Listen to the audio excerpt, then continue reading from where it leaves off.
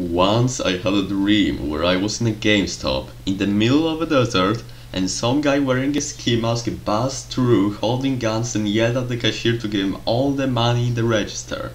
The cashier surprisingly smiled and said, I get what you're saying, but how about instead of all the money, you take this comedically large jar of barbecue sauce?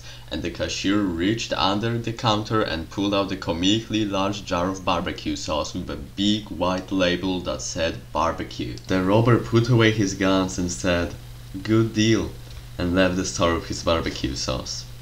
Wow.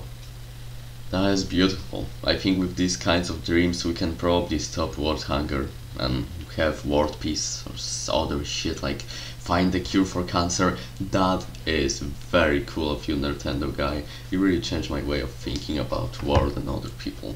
Thank you very much. Goodbye.